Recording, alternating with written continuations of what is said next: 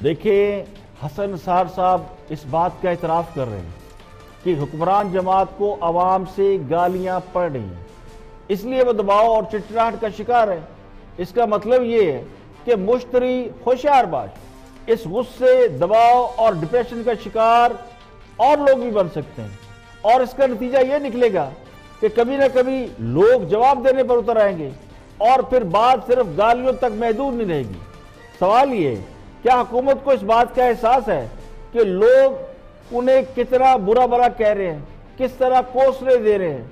वैसे तो कोई भी हुक्मरान जमात ये तस्लीम करने को तैयार नहीं होती कि लोग उन्हें बुरा बुरा कह रहे हैं। किसी भी हाक में वक्त को ये एहसास कभी नहीं होता और ना ही उन्हें होने दिया जाता है कि अवाम उनके बारे में क्या सोचते हैं। ये जो मुसाहबीन और खुशामदी होते हैं, ये हर हुक्मरान के साथ लग जाते हैं। ये सब अच्छा है कि रिपोर्ट देते हैं, बल्कि हुक्मरान को तो ये बताया जाता है कि जनाब, लोग तो आपको दुआएँ दे रहे हैं, आपकी पॉलिसियों से बड़ा खुश है, दूध और शहद की नहरें बह रही हैं। तो असल सूरत हाल का इल्म उस वक्त होता है, जब आप इकतदार से बाहर होते हैं।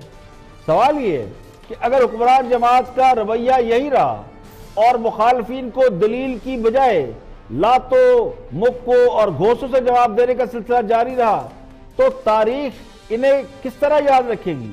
क्या तारीख इन्हें फाशस जमात के तौर पर याद नहीं रखेगी? तो बेहतर यह है कि फाशस जमातों का जो अंजाम हुआ, उन्हें याद रखें और अपनी सलाह कर लें।